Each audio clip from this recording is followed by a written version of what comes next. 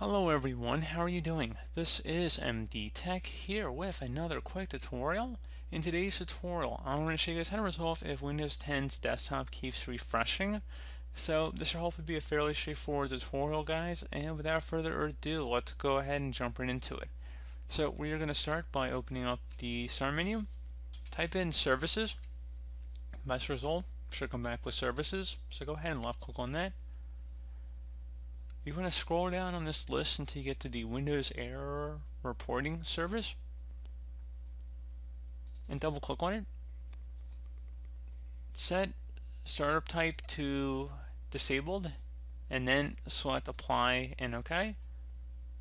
Once that's done, go ahead and restart your computer and then that should resolve the problem. And you know, if your problem is resolved at that point, then I guess you can go ahead and re-enable that service to set it back to manual. Maybe it's set to automatic or it's running. Maybe you just want to set it back to manual. So it's giving you guys a couple options with that. Once you've done that, restart your computer, see if that resolves the problem. You can also open up the start menu again, type in CMD, best result should say command prompt. Go ahead and right click on that and select run as administrator. If you receive a user account control prompt, go ahead and select yes. Now I'm going to have a couple commands in the description of my video. The first one's going to be a DISM command, so just copy that from my description and then go up to the top bar of this command prompt window here, right click on it, select edit and then paste to paste it in. It will take a couple minutes to run so please be patient.